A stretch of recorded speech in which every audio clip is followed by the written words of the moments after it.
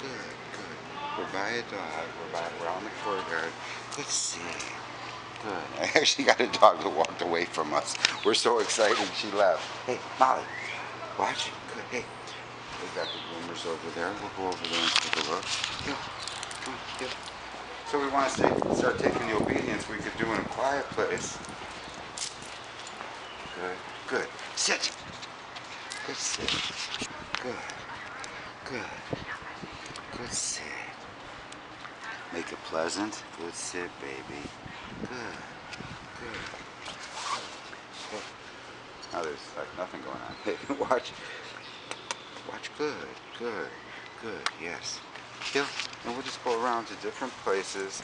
I always have an exit strategy. I want to be able to take her away quickly, making a right turn or right about turn. Sit. Good. Good sit. Good. Good. Good job, Mollie.